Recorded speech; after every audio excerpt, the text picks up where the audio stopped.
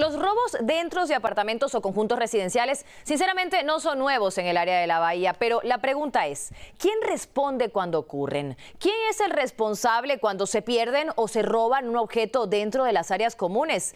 Eso es lo que precisamente se pregunta a uno de nuestros televidentes a quien le robaron su bicicleta eléctrica. Nosotros averiguamos qué hacer en estos casos.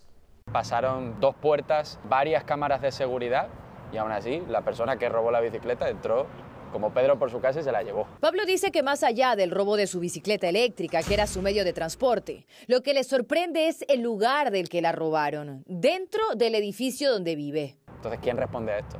La respuesta no es sencilla. Tiene que revisar los contratos porque quizás hay una cláusula que diga que ellos pueden ah, poner sus cosas ahí, pero el lugar no está responsable para lo que ellos pongan adentro del garaje. O si por el contrario existió negligencia de la administración del edificio.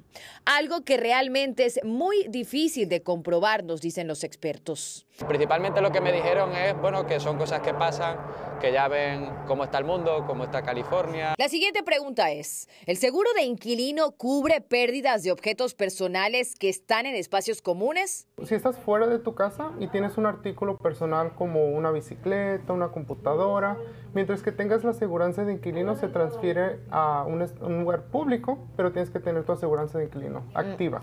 Pero este caso podría ser una excepción, al ser una bicicleta pero eléctrica. Puede ser considerado casi, casi como una motocicleta, o tú deberías tener una aseguranza para el robo de esa bicicleta o motocicleta. Y no solo los robos en áreas de apartamentos han aumentado en la bahía. ¿Sabes qué sí está pasando? Está pasando mucho vandalismo ahorita. Puede ser un vandalismo donde te quebran una ventana o quieren forzar la puerta para entrar.